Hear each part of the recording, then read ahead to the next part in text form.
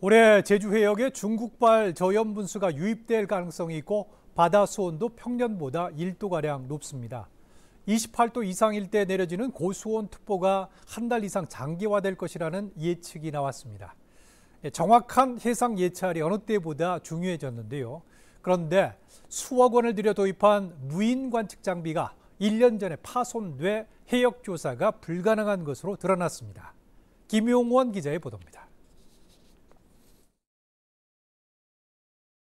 중국 연안으로 갈수록 바다색이 옅어지고 녹색이 두드러집니다.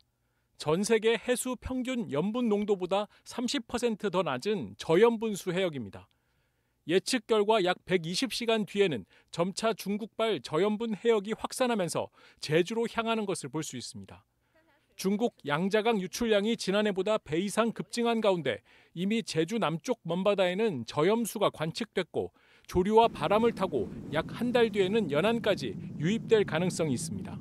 바다 수온도 올해는 평년보다 1도 이상 상승하면서 수온이 28도 이상일 때 발효되는 고수온 특보도 한 달 이상 장기화될 것으로 전망됩니다.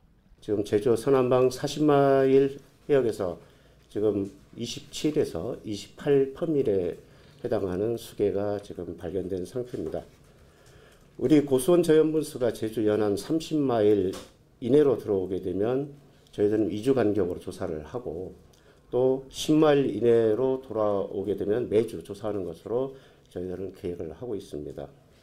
저염분수와 고수온 위험이 올해 더 커진 가운데 이를 조사하는 전문 해양 관측 장비는 1년째 먹통인 것으로 드러났습니다. 인력만으로는 광범위 해역 조사에 한계가 있어 지난 2019년 4억여 원을 들여 도입한 무인 관측 장비가 지난해 8월 밧줄에 얽히면서 파손된 사실이 뒤늦게 확인됐습니다. 장비 가격이 두 배나 오르면서 재구매는 무산됐고 이에 따라 당초 올해 9월까지 예정된 해역 관측 조사도 할 수 없게 됐습니다. 이 파손이 된 이 기계가 더 이상 기능을 하지 못할 거라고 알고 있다면 양식업자들이 이 기계가 파손돼서 우리 난리 났다. 고소온과 저염부 그 저염 저염분 수를 관측하기가 어렵다 하고 난리가 날라, 난리가 나야 되는 거 아닙니까? 이거 고장이 났다. 빨리 해결해 줘라.